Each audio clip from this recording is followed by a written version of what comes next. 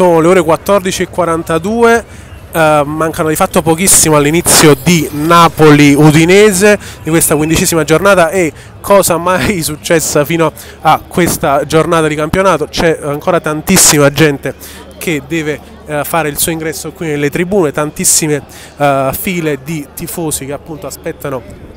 il loro momento di entrare quindi ennesimo sold out che però questa volta uh, sta facendo uh, diciamo tenere tanti tifosi all'esterno del, dello stadio fino a pochi minuti prima dell'inizio della gara perché ricordiamo alle ore 15 quindi fra di fatto poco meno di